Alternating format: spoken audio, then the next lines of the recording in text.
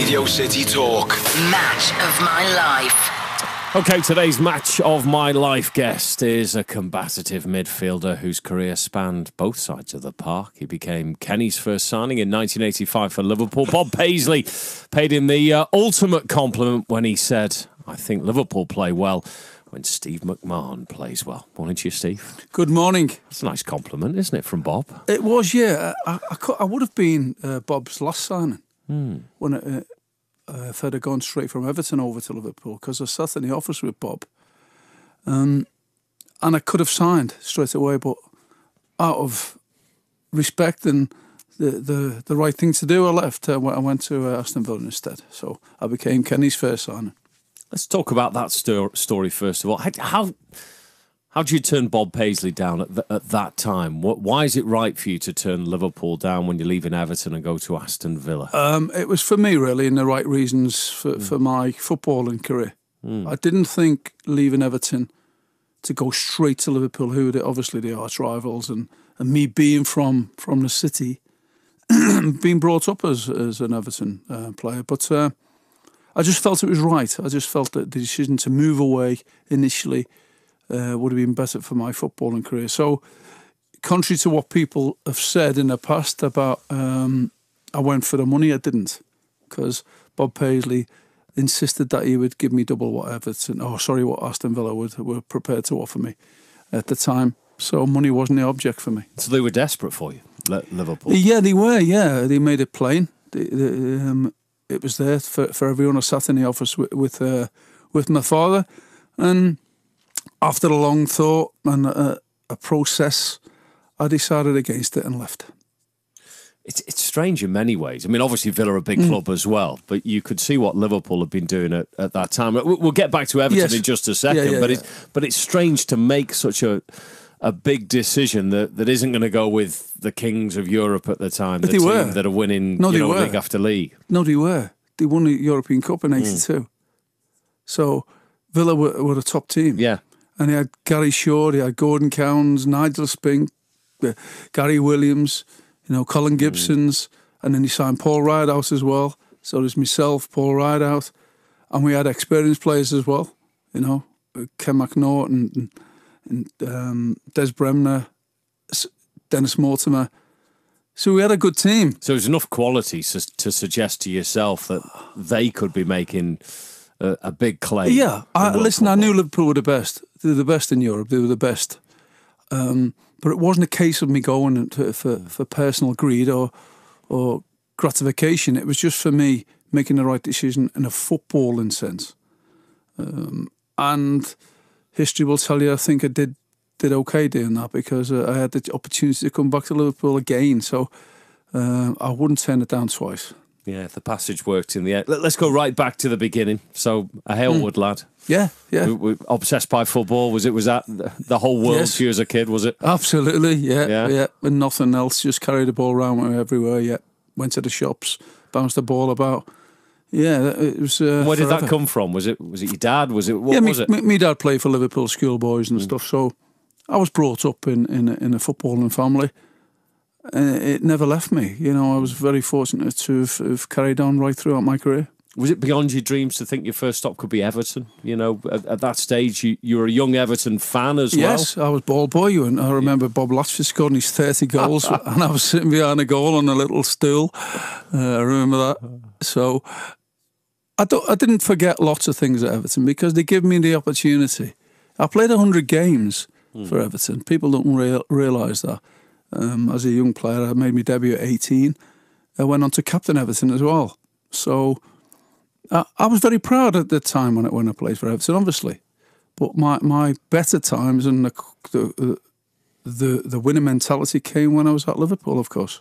But player of the year for Everton, weren't you? In, in Yeah. 81, was it? Yeah. You know, um, and it was a, um, an unusual patch for the Blues because it sort of spanned those couple of years where life was tough into where Howard Yes, grabbed it by the, the throat he did. and really turned Everton into something. Yes, he did.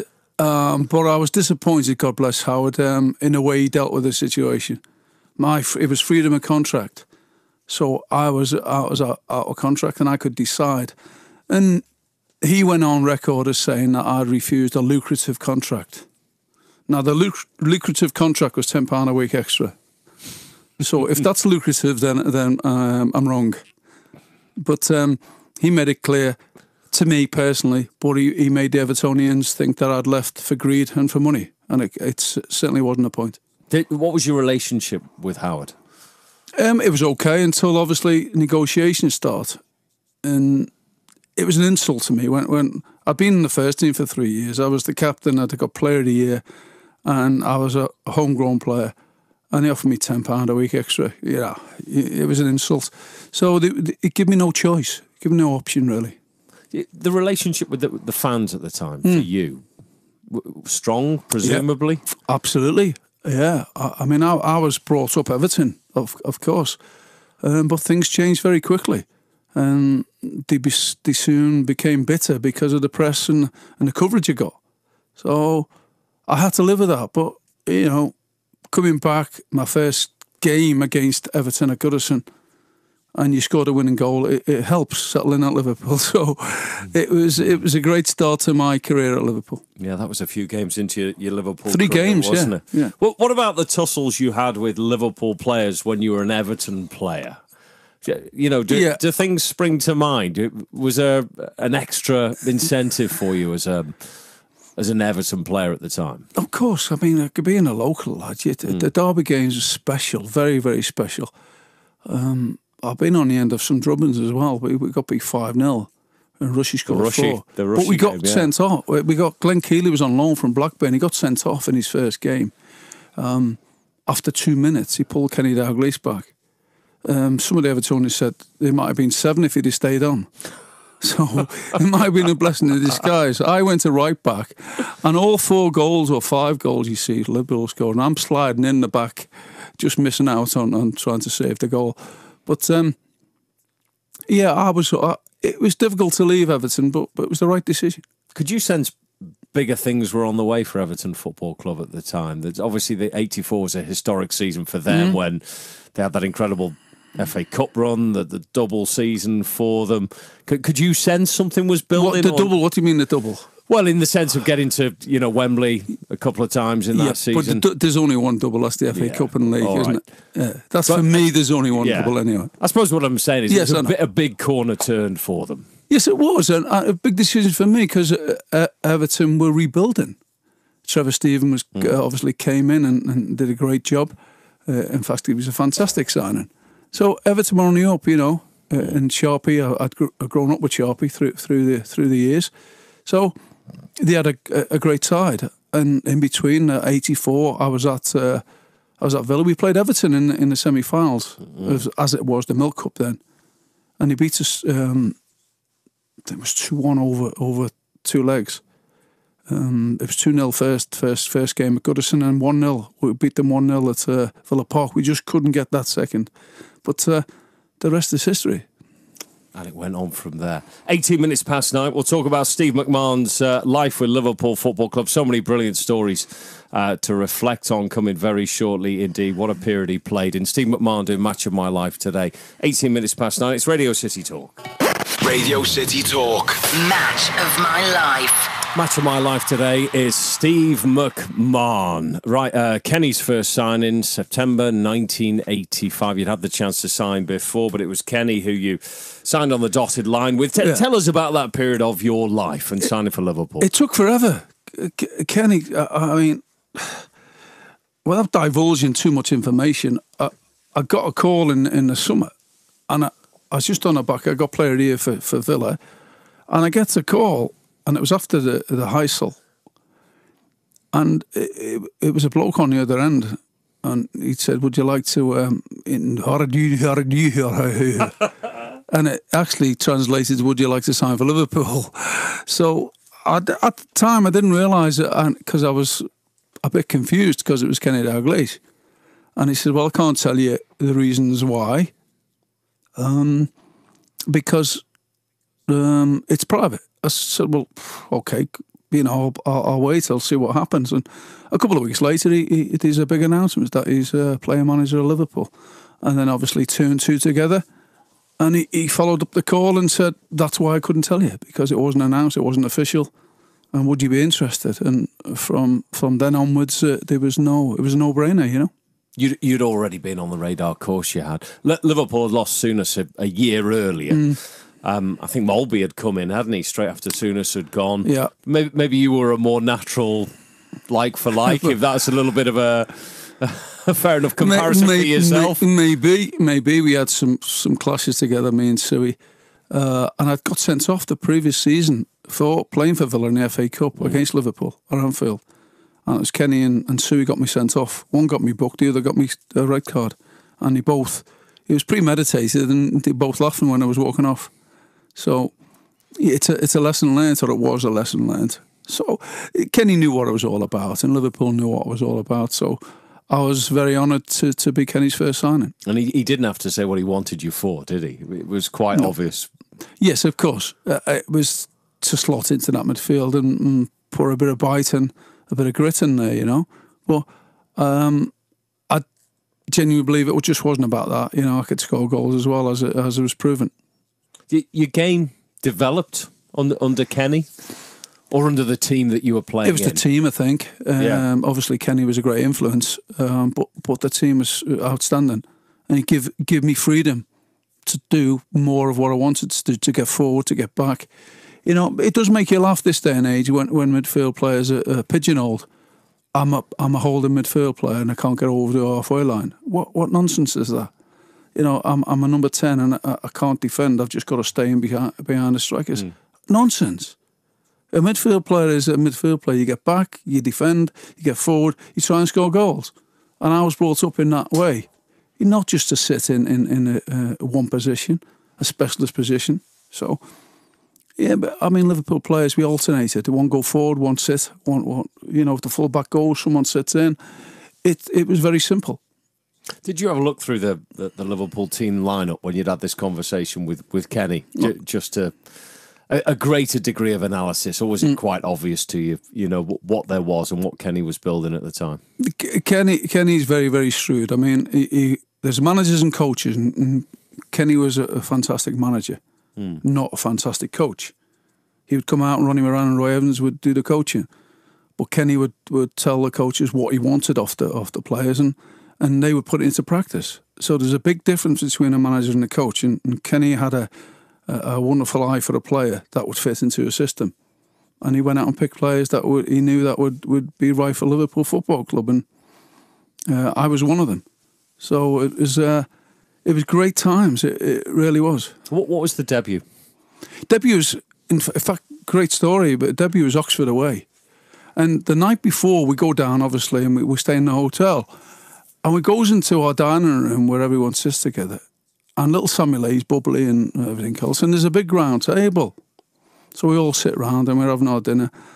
And Sammy is, is obviously chirpy and he, he says, This is like the Last Supper. And I said, Well, it is for some years. And it was my debut. I was there, yeah. I said, It is for some years. And Sammy got dropped the next day. God bless oh. her. Yeah. And, and it was, if Sammy will tell the story himself because it ended up being, it was my debut. We drew 2 2. Ronnie Whelan got taken off, injured with about seven stitches. John Trewick studded him in the face. Um, I think Rushy was concussed. Um, we scored. Alan Kennedy scored an own goal. It was like So nothing was no, going your way. No, it, we ended up two two in the end, and um, it was my debut, Alan Kennedy's last ever game, and Phil Neal's last ever game. So that's how I remember it. Uh, leaving Liverpool it can't be easy for players like Alan Kennedy, Phil Neal. No, it was difficult at the time because you don't know because times change, don't they? You know, and uh, it was difficult for Al uh, and and for Phil Neal, obviously, being the captain. But yeah, it was his last ever game, and Phil Neal's and Alan Kennedy's last ever game. So your third game in is, is this Merseyside derby, which you referred to Yeah, earlier on. Um, Special. It, it couldn't have been more important to you, and the and the influence you had on the game as well. Yeah. That goal, unbelievable. Yeah, I, I think so, and I think that settles you into a club straight away. And the Liverpool supporters, if they had any doubt at all that I, I was, uh, I wasn't going to produce, then I think that silenced a lot of the critics. So so they knew that I was ready to play. I was ready to prove myself, and I, I, I was uh, I was a Liverpool player, and and mm. that was the icing on the cake, scoring a winning goal in the end. Take us through that goal. Yeah, I think we we, we got off to a storming start. Uh, uh we were three 0 up, and the ball came. Across, uh, we two 0 up, and the ball came across, and and Rushy just laid it into my path and I struck it from about 25 yards and, and right into the top corner, oh, bottom corner, sorry, bottom uh, left hand corner of the Gladys Street end. Um, so I just turned away and run. Never mind all this, uh, oh, respect and, and, I'll do nothing, I'll walk away. I, I, just couldn't help myself. And Everton made a, a, good comeback in the second half, but it wasn't good enough. And um, we, we, we won the game 3 2. And there you were playing with Ian Rush, as you mentioned, the man who scored four in a day and Kenny Dalglish previously, Kenny and, Dalglish. Yeah, yeah. And just talk about the qualities of Rushy for, for a moment when you're stepping uh, into a team with him. Well, it's easy when you're with great players, and you, I always say, even as a coach now, uh, that the man on the ball, it's not dictated by the man on the ball, mm. the pass, uh, and it's dictated by the man off the ball. So Rushy was always, and whoever it was, was always the man that dictated where I was going to put the ball. And it's a good lesson for youngsters to learn that you don't try and force it. You wait for the opportunity from a striker to make that run into the into the space. And Rushy was perfect at it. He'd wait, he'd wait, he'd wait, and then when it was right, he'd move. And then it was down to the, the midfield player, and a lot of times it was me, to deliver, to put the ball in the right area for Rushy just to latch onto and score a goal. It sounds easy, but it's got to be two players working in sync. And when Rushy moves, you've got to be able to put that ball in the space. Same with Jan Molby, he was the same. Yeah, because you're playing with players that it's natural to them. It comes easy to them. It's it's a second thought. Yeah, it's like you always see a picture. You know, it's not like reacting to something. You're always looking. And when you've got top top quality players, you can see by their body language where they want the ball and with Kenny and with Rushies, there was only one way. There's only one place you could put it because they made it clear that they wanted it in, in a certain area. So it, it was simple. A league championship with you for you straight away. I mean, beyond your, was it beyond your wildest dreams? Was it? It was probably an expectation, wasn't it? Joining um, Liverpool. Well, we weren't champions. Uh, I mean, the previous seasons, obviously, uh, Everton were. Yeah. So we won a double that year. So Liverpool of all, all, all the trophies Liverpool had won, European Cups and leagues and uh, Milk Cups and whatever, they hadn't won a double, and and it was it, it was fantastic to my first season and Kenny Dalglish's first signing to prove that it was a good signing, and we, we went on to win the double that year. What what point was the conversation had where you thought, well, the, the double's achievable? We didn't. We, uh, we didn't honestly.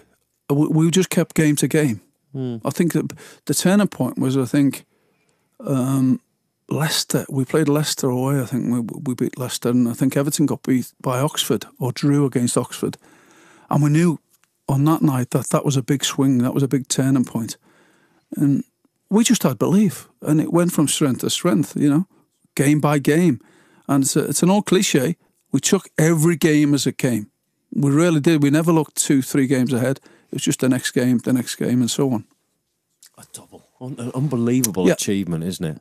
Uh, yeah. Jan Molby in that final mm. was imperious. What was there? I know a lot of the yeah. players had good games, but that was Jan's moment, wasn't it? Of course, he, he, he was an artist. He, at work, it, okay, he wasn't the, the, the most mobile of players, but what a player! It was absolutely amazing.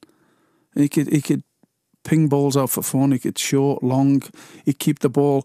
He he could score goals as well a top top player. And he really was. He was a roommate of mine for a while as well. So um, yeah, good good players, and it, Liverpool was about top players. How important was that final to you on an individual basis? You, have mentioned you sort of felt like you'd proved the point, your worth mm. of being signed. Yes.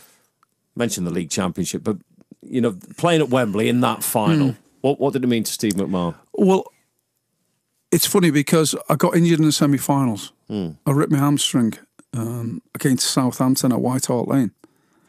So I was struggling to, to make the final. And actually, I was declared fit on the Wednesday before the final on the Saturday. And so, were you fit? Um, I thought I was fit. but at the at the time, and strange, it was the last time there was only one substitute. There was only twelve, so there was only one substitute in the in the cup final, which sounds ludicrous nowadays, doesn't it? With like, the amount Oh, of substitutes gosh, they yeah. have. So there was only twelve. There was only one substitute, and I was the last player in the cup final to beat the twelfth man. So I was I was lucky that I was it was even on the bench, you know. Um, and Kenny being Kenny didn't even put me on. It's ridiculous. You know, winning three one, he could have he could have took himself off and put me on. Only joking, Kenny, if you listen. But it was like one of them. It was just surreal that you know I'm playing for Liverpool against Everton in a cup final. We pipped Everton to the league as well. Mm. Lan- Gary Lineker scored thirty goals that year and That was won. phenomenal, wasn't he? Wait, we won. no- We won nothing, and everyone forgets that that he had a magnificent season. Yet we won nothing, and Liverpool just pipped Everton for the for the league and, and for the cup, obviously. W- Wembley must have been a special place that day. Oh yeah, I mean, I say to people in Asia all over Asia, like they, talk about winning leagues. I say, well, I was I grew up wanting to to play at Wembley and winning the FA Cup, not playing for England, not winning the league. It was always playing in the FA Cup final because the FA Cup final was for me. That's what it was all about. Going up them steps, lifting the FA Cup, and and being at Wembley in front of hundred thousand, and to get the opportunity was uh, was amazing. It really was fantastic, and it's a dream come true to play at Wembley. That that first season, part of the injury you mentioned, couldn't have been better. Were, were there any lows there for you or not? Just the injury, I suppose. Yeah. Yeah, ju- just the injury. That, apart from that, I was in double figure scoring goals, um, and obviously we hadn't won. Liverpool hadn't won nothing in '84, and Everton were successful, and we took over the mantle then. So it was short lived for for Evertonians, and then all of a sudden Liverpool got on on a run again. So 85, 86, and uh, obviously the rest is history. Right, you're known as a bit of a tough man, aren't you? Well- People would say that to you. Uh, you know, Perception you're is not reality. You're not shy. Um, Bruce Grobbelaar um, wrote in a recent Liverpool book that he broke your nose twice Yeah. in one night at St Andrews. Clear this story up for us. You, Well, uh, yeah, it's uh, why why um, tell the truth and spoil a story. Bruce is Bruce, and he tells stories for fun. Great stories. I love Bruce. I think he's a great character, yeah. but he's just totally out the box. You know. Some of them are fabricated. Oh well, most of them probably are fabricated, Steve. You know what I mean? It's it's one of them. My nose has never been broken anyway. It's full stop. Um, I don't know where the stories come from, but as I say, why let the truth get in, in, in the way of a good story? And Bruce was full of stories. So I couldn't do nothing about him away in Asia. Can't do nothing about it. If he wants to put stories in, then so be it, you know. We'll put a line through that one. What about on the pitch as, as a harm? Because the game, the game's gone massively away from um, the way you used to patrol the midfield, or, or as soon as you used to do. Well, I don't think so. I don't think Still so. think it's there? Well, I don't think there's a tackler about. I don't think there's anybody that, that does a, an honest to goodness 50 50. Um, where are the players? Where are they? I can't name one. I could name one that is similar to a Souness, to, to a Peter Reid, uh, to a Brian Robson, to myself, to a Roy Keane. Where are they, Steve? I don't know. I, I can't even think about it, even Well, they now. don't exist, do they? Well, they don't exist. Is that because the way football has gone, or because the players have, have tailored the game? I, I, I don't really know why. Because uh, people say, oh, you can't tackle these days. Of course you can. Absolutely. You've got to tackle in the right way. People say to me, oh, you wouldn't have lasted five minutes at this day and age. Yes, I would. Because you tailor your game. You, you make sure that you, you don't get booked. Or you make sure you might get one book and you don't get a second and we used to share the bookings round. And that sounds stupid, but once you've had your, your yellow card, then obviously you're not stupid enough to go and get a second one. So Ronnie Whelan would go and get his yellow card. Then Jan or Craig Johnston or somebody else would go and get their yellow card. So you'd end up with five or six yellow cards, which is better than a red. And you'd start the game thinking you had a few free passes from the referee as well, wouldn't you? You'd like to think so.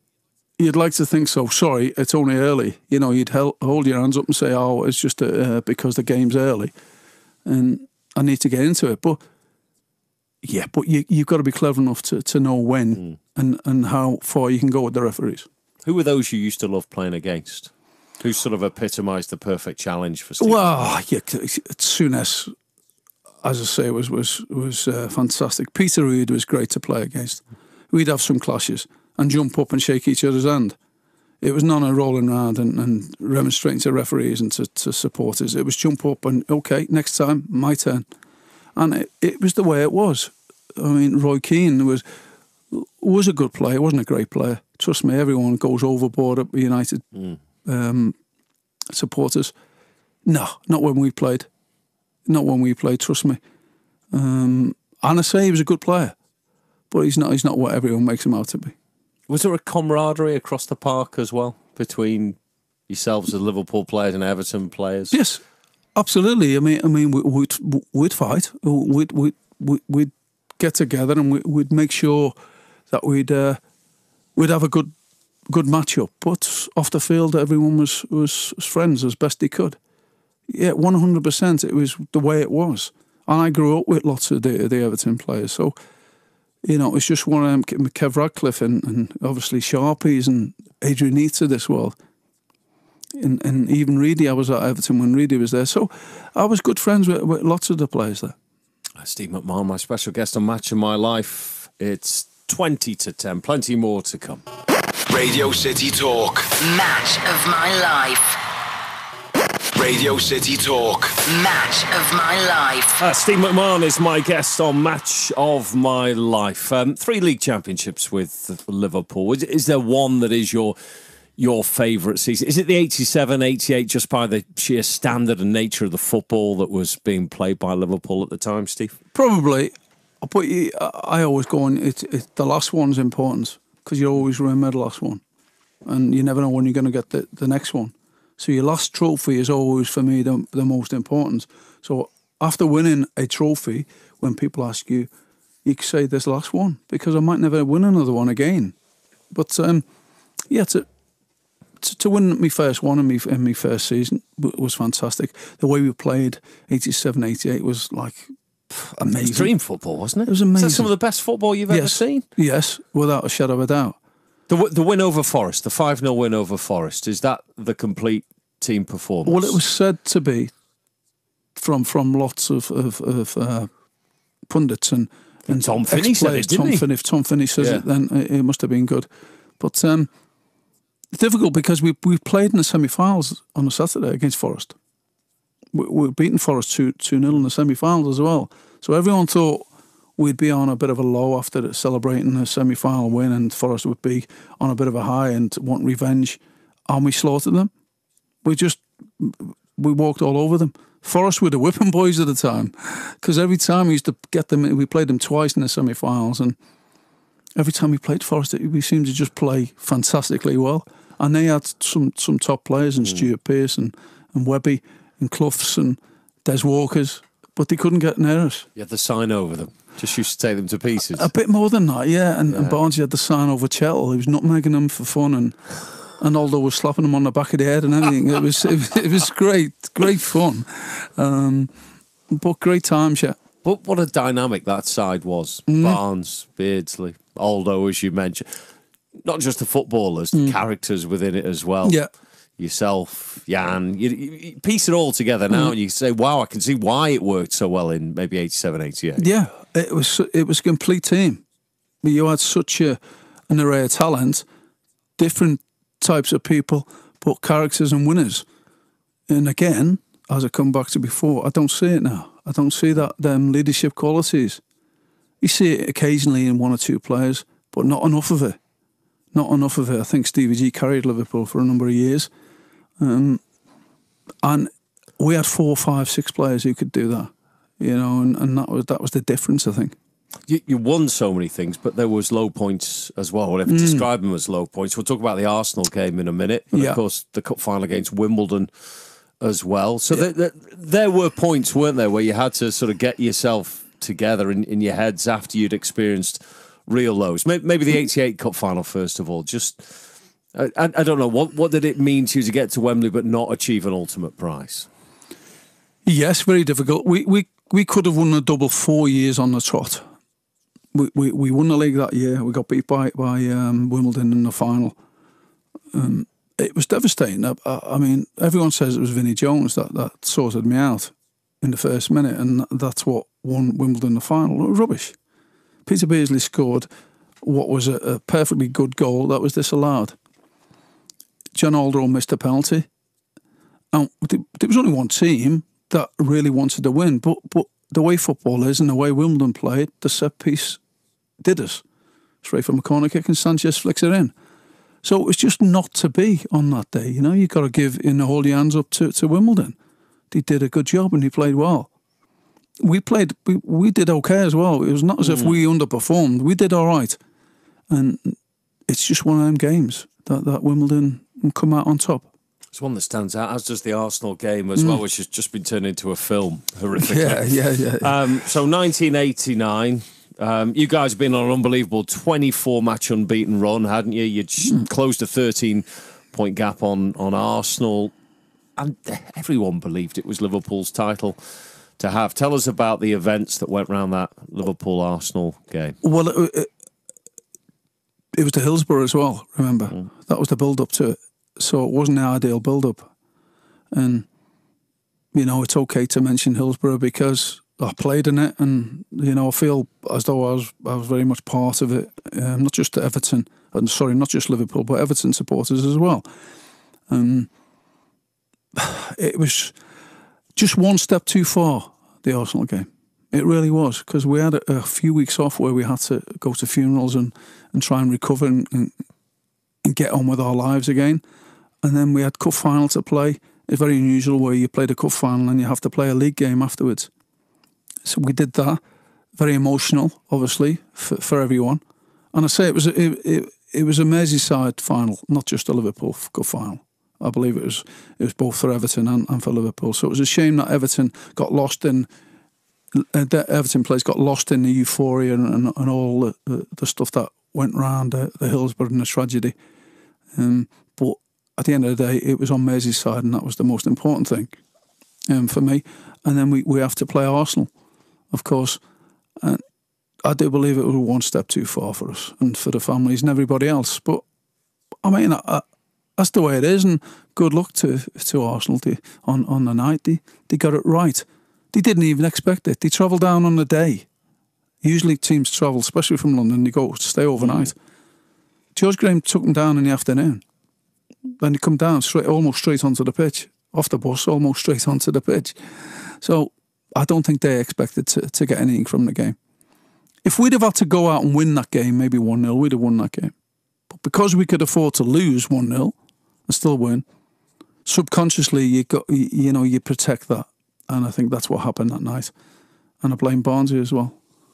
Well, it's funny because everyone blames Barnesy. Of course, you, yeah. You ask him and he says, "Don't blame me, but blame the person who passed the ball to me." when I took it into the corner. No, it's I blame him because usually, you, at any given time, you could give that ball to Barnesy and say, "Keep it for five minutes." And on this occasion, what he he'd lost it a bit, and he, and he said he decided to cross the ball when he didn't have to. He just had to win the game. Get his big fat in, in a way and, and, and stand in the corner and keep it there. And he didn't. He tried to cross it and tried to we tried to get a goal from it. And then you break and the rest is history. It's 2 0 and, and we've lost and we haven't won the league. So Barnesy, you're to blame. Do you remember the dressing room afterwards? Yes, I do. Well, it was uh, it was very very um, quiet. Obviously, a few tears from a few players. We we were supposed to arrange because it was the double double. There was only six players. There's only six of us who would be the first to ever win a double double. Double, yeah. And them celebrations were put on hold, obviously, and everybody just went home. We were arranging to go and do have, have celebrations and stuff. It didn't happen, and we just flitted off home. It was just like shadows just going away. It was like it was um, very, very emotional. It really was. Couldn't believe it. You mentioned Hillsborough. Where, where mm. did Hillsborough take you emotionally, mentally? All over the all over the place. I mean, obviously the history tells you about Kenny, uh, but it was the wives as well and, and families. And and players. It, it was hard to deal with. We going to funerals, meeting. I knew a lot, lots of people who come on the pitch and saying to me because I was from Liverpool and I knew lots of Scousers and it, it was harrowing for, for the rest of the few weeks that we had to to deal with. Um, but God only knows what the families went through. I know what we went through and I know what the families went through. Um, very difficult times for, for Liverpool Football Club um, and for and for Liverpool, I suppose, in, in general. And, and history tells you that over a period of 27 years, 28 years, whatever. But justice was done in the end, so I'm glad to say that. Emotionally, how tough is it to leave Liverpool Football Club at the at the end Very of tough. a journey like the one you've been through? Very tough. Um, Kenny, had, I was in the hospital. I got injured against Everton in in the, the first game of the FA Cup, and the replay was uh, during the week. So I got injured on the on the Saturday, uh, and I was having my operation on a Tuesday, I think Monday or the Tuesday, and I was I was in bed after the operation, and then the announcement was made after the game, the, the replay against Everton, that Kenny Dalglish had, had resigned, and I was surprised to say the least because uh, no one knew about It It was a shock to all of you. shock it? to everybody, and I was in hospital at the time, so uh, a bigger shock to me. Um, and then I had to get myself ready. It, it was a stressful sort of year or so for everybody, so I had to recover, get myself going, um, and it was difficult. Difficult coming back, and everything had changed. Sui came in. It, it, I can't begin to tell you how much it changed. It was drastic. It wasn't if it, it just evolved, it was just drastic. It was overnight. It was like chalk and cheese. And things for me weren't right. I had four and a half years left on a contract, and I went to see uh, Sui, and I told him I wasn't happy and I, I wanted to leave. And he said, okay. He Was it a comfortable conversation? uh, well, far too comfortable. It was like usually you'd maybe get the, the manager saying, "Well, think about it. Maybe you may be a bit harsh, or, or, or, or you know, we want you to stay, or whatever." It was okay, no problem. I was actually gobs. I was taken back because uh, I thought a manager would have said, "Well, what's the problem? Can we help you? Is there this, this, this, this?" this? No, nothing. It was just okay. And as soon as I heard okay, then I thought that I've got a, a stand my corner. It's time to go. When a manager says okay, that means it's okay. Never been one to she- speak your mind, shy to speak No. your mind, uh, Steve. It, it was just a case of like maybe I wanted a, a, a- an arm around my shoulder, maybe I wanted reassuring, and it didn't happen. Steve McMahon, match of my life. Radio City Talk. Match of my life. Now, what we should say is that Steve has returned from uh, the Far East after many, many years Yes. away from these shores. And you're back in the Northwest. Um, and you've got a brand new venture going at the moment. Your love of football continues. You've teamed up with Roy Evans, absolutely superb chap. Um, and what is it you've launched, Steve? Well, it's it's Boot Room Academies, and it's um it's education based, but football as well, and it's basically we do a, a number of things. And Roy's told me I've got to say he's away, he's in the Caribbean, sunning himself. As he is. He'll be on a cocktail now or so. But um, yeah, we're very excited with, with, with what we're doing, Boot Room Academies, and we we do education as I say. We've got signed up our first host school, which is Ormskirk Brilliant. which we're very very excited about, um, and it's it's all inclusive as I say. And if you need more information, you can actually go on to the the three W's bootroom.com. So www.bootroom.com. Academies, Boot Room Academies. bootroomacademies.com Yes, or on the, the social website. media as well, Bootroom Academies. Yeah. I've seen it on the Twitter feed. Or my Twitter at Steve Macca eleven or or at Bootroom Academies. So So you're giving young people a chance to get Yes. more involved in football, aren't you? Well, we run Skills Academy on Tuesday in Ormskirk School as well. So, and run by Jenny, who's uh, actually she's worked for Manchester United for uh, a number of years, and for the FA. Um, she's a, B license holder, soon to be an A license holder, which is great for us. Uh, and and we have a partner, Kim, who's our education lady, who looks after all, all things. And we do a bespoke education package, which is equivalent to three A levels. Yeah, I saw, I saw that actually on your on your um, your advert for it. That's incredible, really. it's it's taking the football education to a higher level. This. Yes, it, it is because some people. I mean, you don't have to um, do the written exam. We can take you through the course and and pass in a different way. Um, so we help them if people have failed in their exams and didn't get the grades. We can pick up the pieces for them, and we can make sure that they, they, they pass in, in their own good time. And with the help of of Boot Room Academies, we can help them along the way and and get them to choose what path they want to go in. What sort of age groups are we talking about here, Steve? Well, uh, that's 16 plus. right. But we do we do all age groups. As I say, we're doing uh, camps. We've got one in February as well at Ormskirk. Again, go onto the boot room uh, uh, and have a look at that. But we do finished um, some camps, uh, the winter camp, and we had five year olds up to nine year olds, which is great. I was taking part in, and, and Roy and I were there. Um, so we always Get get trained by you two, are they? yeah, me and Roy turn up. Yeah, we're always hand. yeah, we're always there. We're trying to give advice and, and, and, and helping hand, but it's fun. It's fun for them, you know. And uh, we, we we have three girls. I've got to mention them because they're the girls um, that are sitting listening to this. By the way, Amber, uh, Mayan, and Lucia are all listening. They they they're part of our, our group and our pupils. Um, very enthusiastic, and that's what we like to see. It's not about talent. It's not just about It's not about finding the very best of the no. It's best. not. It's not because that's hard to come by Yeah. but it's actually finding people who want to enjoy themselves, enjoy the sport, run around, communication skills, everything that involves a person, and, and- we do it, you know, and we- we're excited. We really are. So, um, and one of our partners, Creativity Works in, in Preston, we're doing a lot there as well. Um, we're trying to get a whole school in Preston as well. We, we're, we're almost signed on a dotted line with John Rigby College in Wigan. So we're nearly there with that. So exciting times, along with the education, the football, the coaching that we have, uh, and it's select coaching as well. It's elite, so we don't just get give youngsters a ball and let them run around. It's it's it's very thorough, and, and we, we we put them through the paces. We enjoy themselves as well. Run by absolute two gents uh, in yourself and of course Roy. So uh, the best of luck with that initiative. Boot Room Academies. If you want to find out more online, Steve. Thank you very much. Hours Pleasure, Steve. by. Pleasure, Great mate, Great pleasure. fun indeed.